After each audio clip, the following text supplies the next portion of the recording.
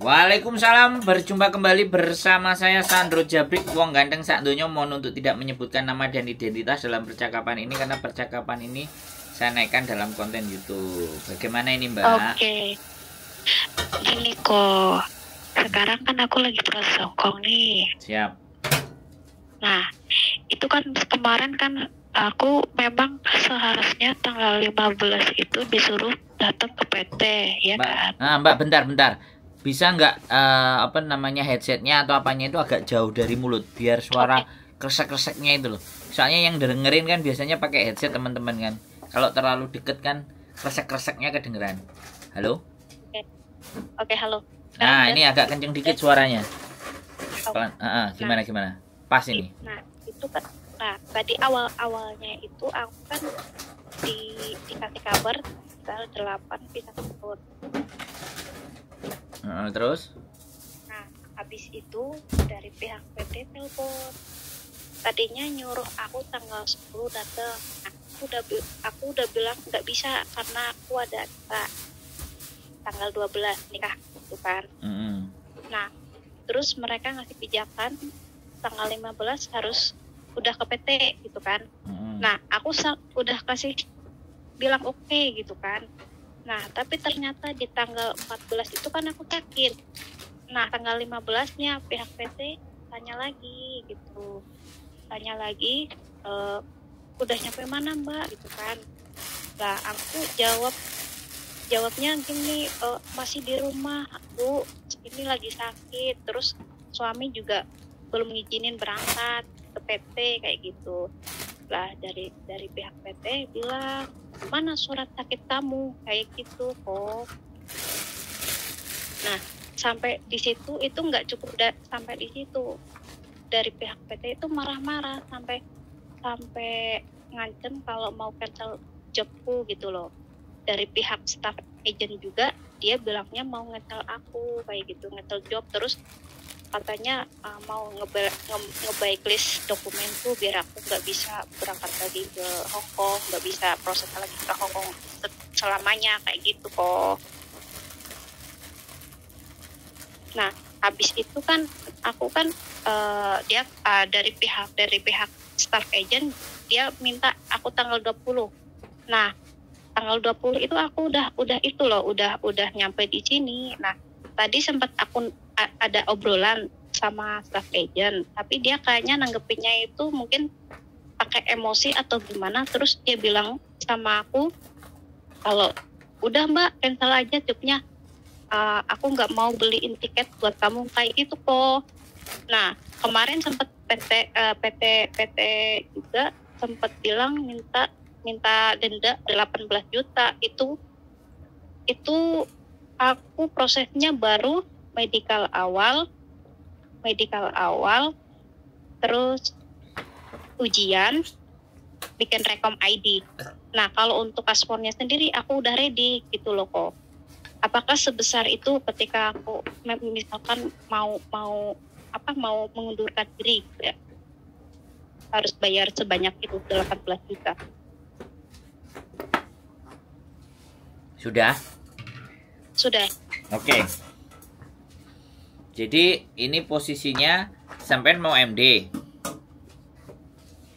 ini kan ini kan tadi tadi kan ngantemnya cancel job kok dari staff agent Ya, berarti cancel job terus sampean harus ganti rugi. Iya, kalau cancel job aku kemarin sempat dibilang kalau cancel job itu disuruh bayar ganti rugi 18 juta. Hmm.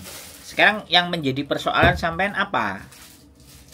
Nah, yang menjadi persoalan persoalannya sekarang kan benar enggak sih dari pihak staff agent itu cancel jobku terus eh, apa ya?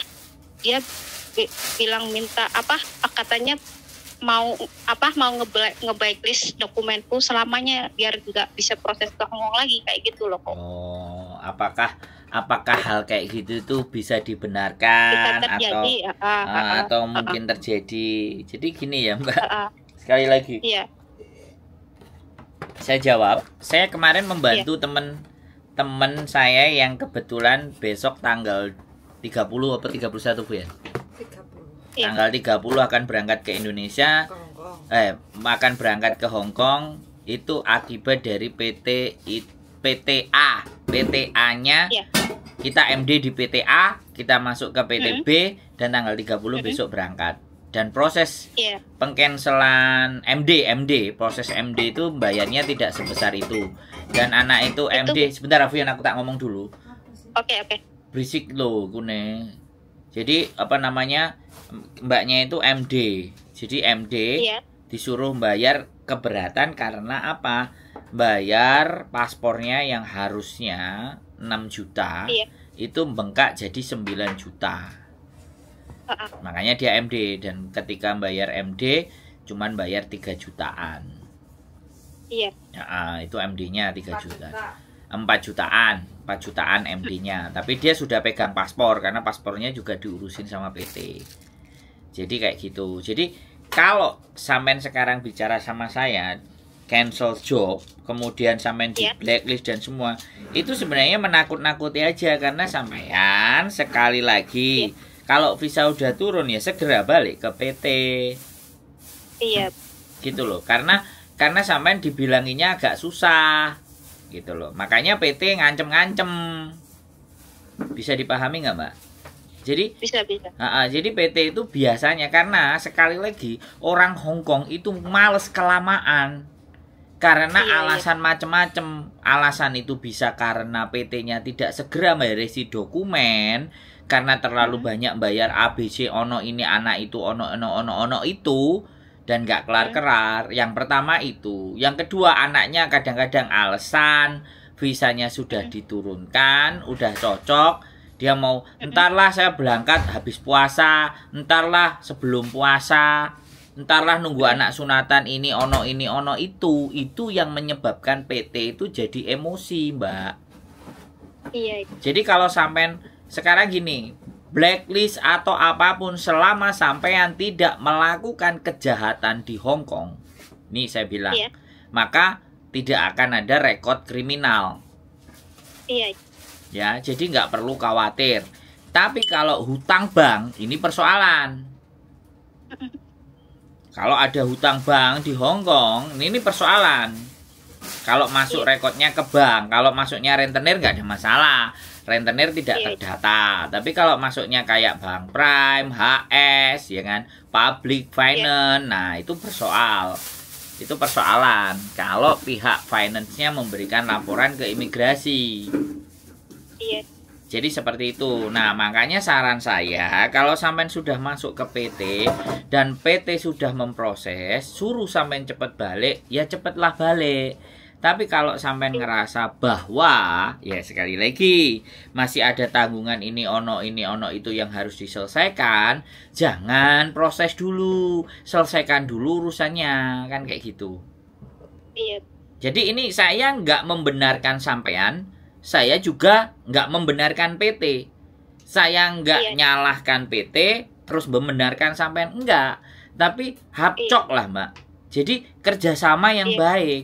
Karena PT ngurusin sampean-sampean semuanya itu sudah sama negara wis diribetno.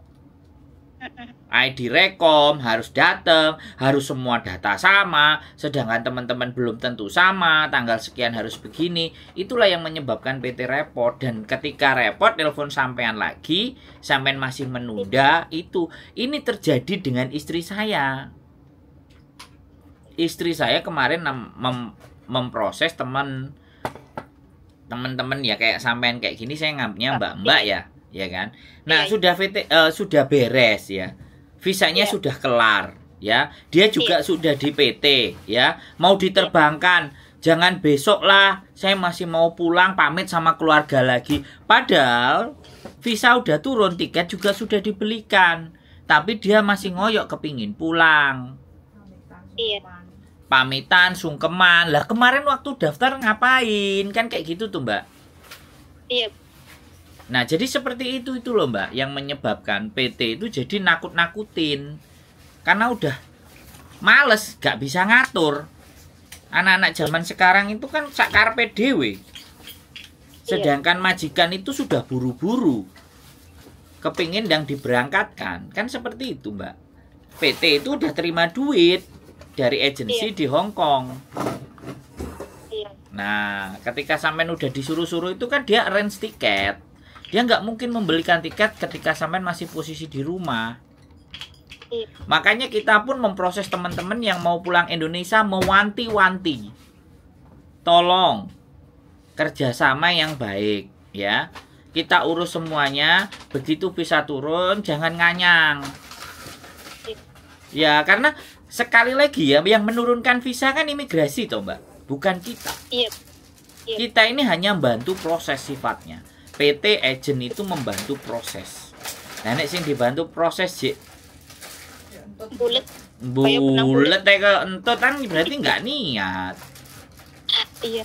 Kalau Nah. aku sih niat kok, cuma memang kemarin bener benar-benar pas tanggal 14-nya itu mau berangkat sini ada niat untuk sakit. Makanya suami nggak bikin. Iya mbak, ya harusnya pada samen benar-benar mau proses niat, samen harus sampaikan ke keluarga alasan apa pun terhadap apa yang ada di keluarga ini. Kalau menginginkan berangkat, kita harus berangkat. Gitu loh mbak. Even though itu, walaupun itu, iya kan, anak lagi sakit, anak lagi semuanya, ya kan harus komitmen dong, bener nggak?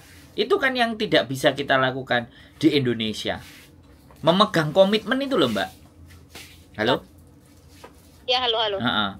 dalihnya wong ini anak gak bisa ditinggal. Ini suami ini orang tua. Tapi kalau yang ada di Hongkong yang sudah di Hongkong ketika ibunya meninggal kira-kira air mata nggak? Oh. pengorbanan kan mbak? Iya pak. jadi di situ loh mbak. Jadi nggak ada masalah saya. Saya hanya ingin mendudukkan persoalan itu pada semestinya. Ketika sudah mau berproses sudah semua yang ada urusan di Indonesia kalau bisa ditunda proses dulu diutamakan kecuali sampean masih belum mau proses. Ya silahkan ngapa-ngapain. Jadi jangan disambi. Di situ salah satunya. Yang membuat PT-PT itu kadang semakin jahat. Karena ulah-ulah beberapa orang yang pada sulit-sulit diatur sulit-sulit ditata diajarin dan maunya dia mereka sendiri. Nah itu yang menyebabkan saya juga ada kok mbak gitu loh. Orang minta tolong ya kan? Buru-buru dua dua dua rau ini gak dapat majikan. Wong wong saya ketemuan majikan yes. Dia pergi dia dapat majikan dia nggak ngonfirm lagi ke kita. Kita nelpon nelpon iya. dia nggak diangkat dia sudah masuk ke majikan giliran dua bulan tiga bulan nggak cocok dengan majikan itu baru telepon ke kita lagi coba. Dia susah juga itu. nah makanya jadi orang baik itu lebih susah dibandingkan orang Iya. jahat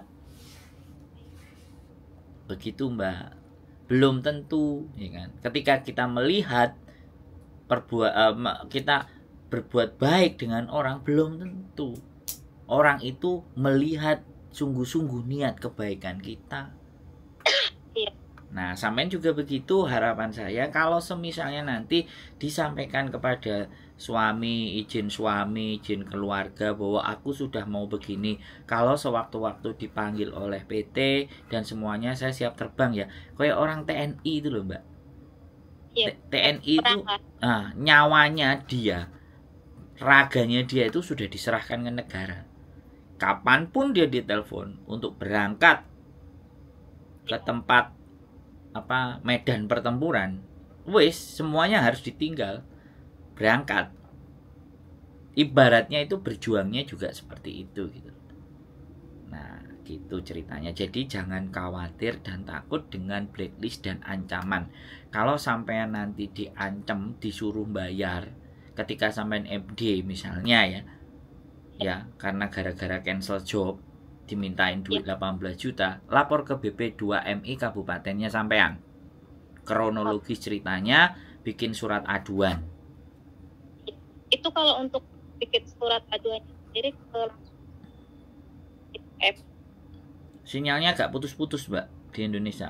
Agak cari Oh, tempat iya. sinyal yang lebih bagus deh, Mbak. itu kalau misalkan mau mau apa bikin pengaduan itu langsung ke posnya langsung Nanti tak atau kasih bisa lewat online Nanti coba, aku kemarin pos aduan ke mana ya? BP2MI kabupaten bisa kok mbak? itu kan masuknya aku kan ikut eh, Banyumas kok B- kan Banyumas itu provinsinya mana? Jawa Tengah Berarti BP2MI Jawa Tengah. Saya kenal. tapi masalah masalahnya sekarang saya itu ditempatan di Malang Ya berarti BP2MI Malang kalau PT-nya itu di Malang. Halo? iya halo halo Iya, nomor aduannya ke BB2MI Malang. berarti kalau aduannya ke eh, apa daerah sendiri nggak bisa ya Lu kan sampean di Malang. Otomatis kan PT-nya di Malang. iya cuma kan ini kan eh, bukan bukan dari eh, bukan dari PT PT asli gitu saya jadi ibaratnya dititipkan proses di situ gitu. Ya nggak apa-apa, nggak apa-apa. Di mana sampean berada di situlah. Ini loh, Jalan Legend Sutoyo nomor 72, Bunul Rejo, Kecamatan Blimbing, Kota Malang, Jawa Timur. Nomor telepon 0341489898. Monggo. Ini ada BP2MI Malang. oh iya iya iya nanti coba apa aku share apa cari Google. di Google Ah, Iya. sampean laporkan di situ. Kalau sudah ada nomor aduan, kalau tidak segera ditindaklanjuti, nomor aduan kirim ke saya nama sampean siapa, PT-nya atas nama apa, saya langsung naik ke atas. oke Biar penekanannya nanti di Jawa Timur. oke Ya, BPM BP2MI tak share aja deh sama sampean. oke siap Kan enak kalau di-share gini. Nah, sampean tinggal nah tinggal lapor di situ ada nomor teleponnya. Bagaimana Iya. kalau saya mau aduan, bagaimana seperti apa? Nah, tanya prosedurnya. Kronologis ceritanya sampean sampean tulis dulu. Sampean tulis pakai kertas, kemudian boleh Iya. sampean scan, terus sampean kirimkan Iya. nanti kalau by email pengaduan atau sampean kirim by WA. Pak mau WA Oke. apa mau PDF kronologis cerita kasus saya. Jadi kan sampean sudah benar-benar ready menceritakan permasalahannya sampean bagaimana Iya, bagaimana dan seperti apa.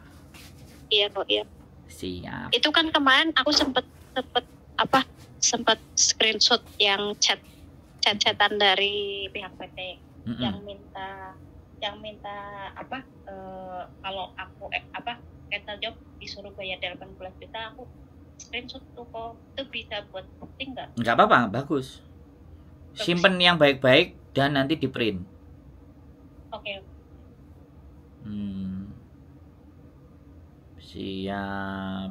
Ternyata sampean sampean pernah kirim data ke saya ya. Ini loh Mbak eh. Halo? iya belum Sampean pernah kirim data ke saya ini ya, KTP Hongkong, paspor, terus ektp yang belum jadi kan? Sinyalnya Mbak, ampun, Oh, iya ampun. halo halo halo halo. Halo. Halo. Oh ya, sampean pernah ngirim dokumen ke saya ya? betul betul. Itu dulu pernah. Cuma kan itu paspornya kalau nggak kan kemarin kan aku tahun 2022 proses ke Singapura. Bulan Mm-mm. Oktober. Mm-mm.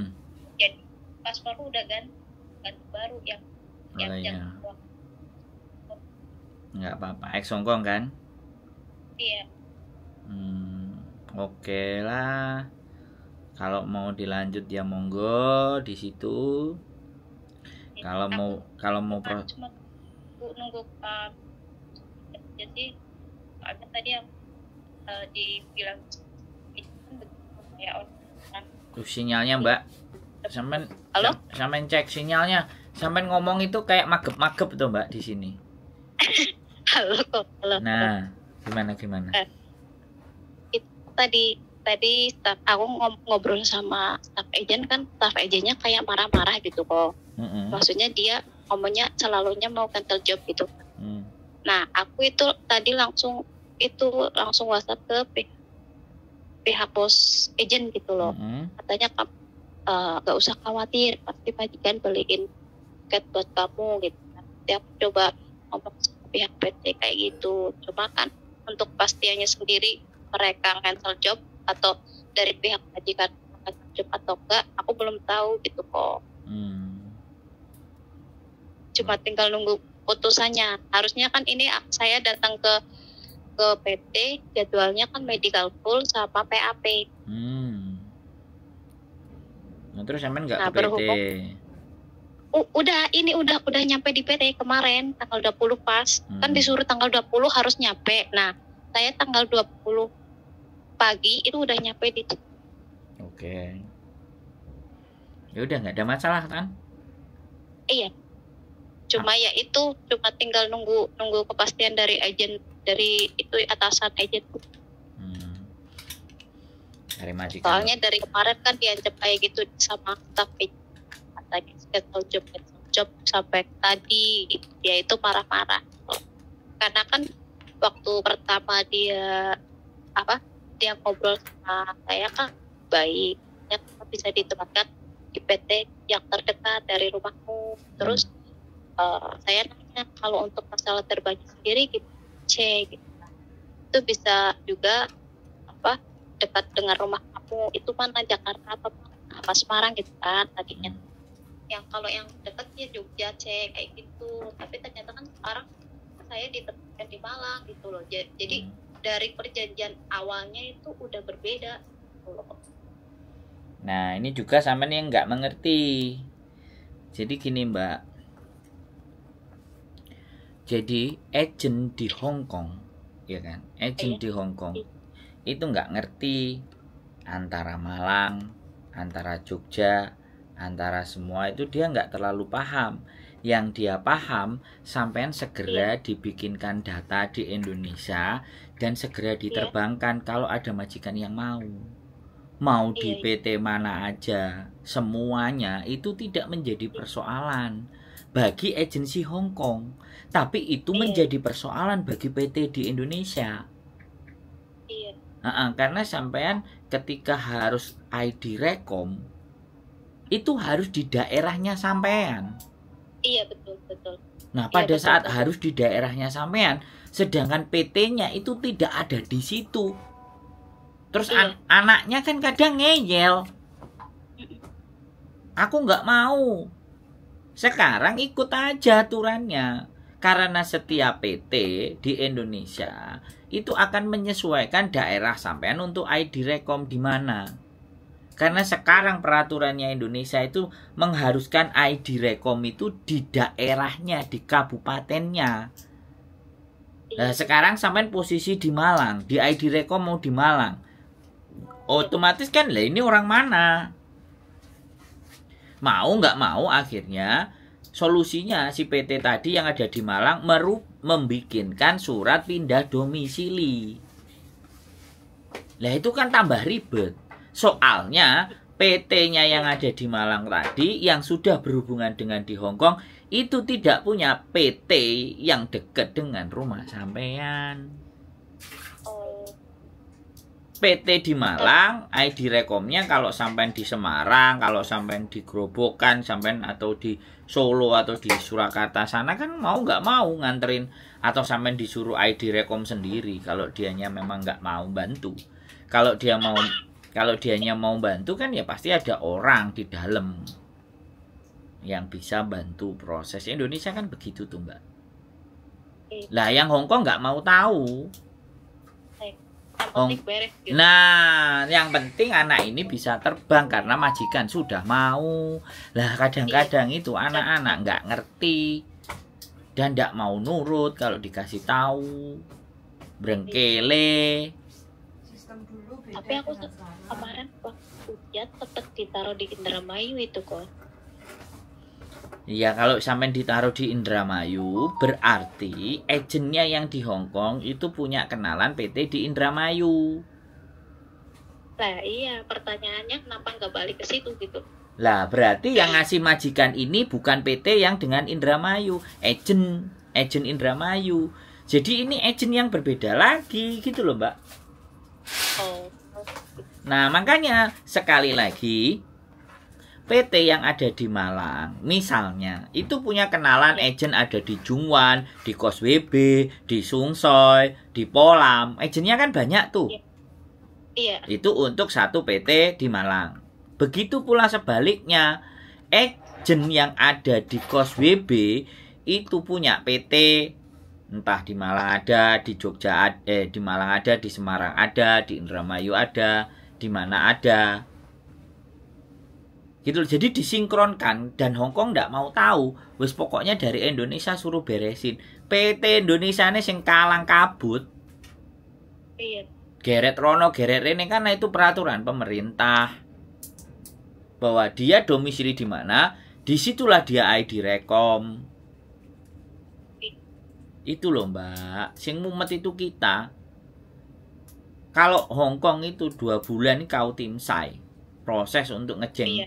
Orang Indonesia itu kelar Indonesianya ini loh yang susah bulat gitu ya Nah, aturannya mau memberangkatkan itu aja kakean rengkes rene rono runu. Makanya majikan Hongkong gemloy. Proses kok gemloy lama sekali. Apa persoalannya yang salah data lah, yang kabupatennya dia nggak punya link.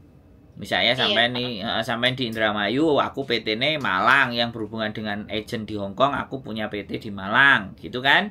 Iya. Lah Malangnya nggak punya channel otomatis ID Rekom di kabupaten sampean otomatis kan nah itu sing rodok sulit. iya Eh, yang ID Rekom di situ iki anake sapa iki? Iki PT ndi iki? Bayar upeti iki, setorane piye? Nah, iku. Wis nek campur-campur ngono tambah suwi meneh, Mbak. Bisa dipahami nggak? Iya. Heeh, ya begitulah. Jadi tidak gampang aja di, dibikin mudah dan gampang, nggak nggak se nggak seenak itu gitu. Padahal wong duitnya ya balik ke Indonesia ya buat bangun di Indonesia, nyekolahin anaknya, beli motor buat perekonomian di Indonesia. Ngono ya kata budal, Cik. Balik. Padahal kalau ada apa-apa ya tidak terlalu mau tanggung jawab. Jawab pertanyaan ini loh pemerintah endi nek sing gelem. Aku aja yang kurang gawean jadi YouTuber. Jawab Jawab. Kenapa? cari Cari apa, Mbak? Halo? iya halo Cari apa, Mbak? cari uang Nah, nek sampean pinter nggak konten dan sampean punya pengetahuan ya monggo, saya tak dukung. saya nggak ada Heeh. Memberikan informasi-informasi yang benar yang tepat saya mendukung kok, Mbak. Siapa pun itu. Kalau terlebih-lebih PMI saya selalu memberikan dukungan. Nah, kalau disuruh kerja-kerja kayak gini laporkan kalau tidak terima. Bagus ini di video. Ada buktinya, nanti bisa disidak. Inspeksi mendadak. Gitu loh. Kan sering itu PT-PT yang nggak punya BLK sering diinspeksi dicek banyak yang kena potongan aja yang melebihi 2300 sudah bisa diperkarakan halo iya halo halo halo jadi seperti itu mbak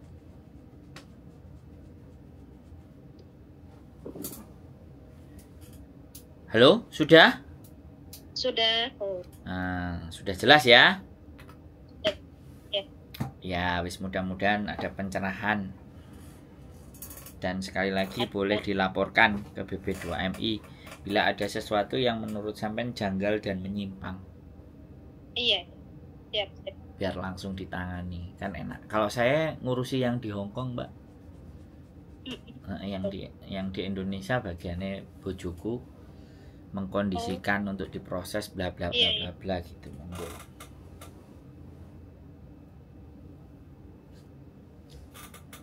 Oke Mbak E, sudah aman? eh, sudah aman nanti kalau Ya. ada apa-apa lagi aku ngomong Boleh, saya tunggu di di Hongkong ya Mbak. Makan sayur asam Oke. di rumahku ya. Ya Oke. ya pokoknya itu di mana itu kok Kos BB. oh pas BB Iya. pas BB dekat KJRI Di dekatnya jembatan biru. oh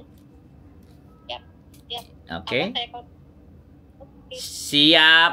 Joikin Hai Hong Kong, oke? oh oke Yuk, bye bye. Assalamualaikum. Waalaikumsalam warahmatullahi wabarakatuh.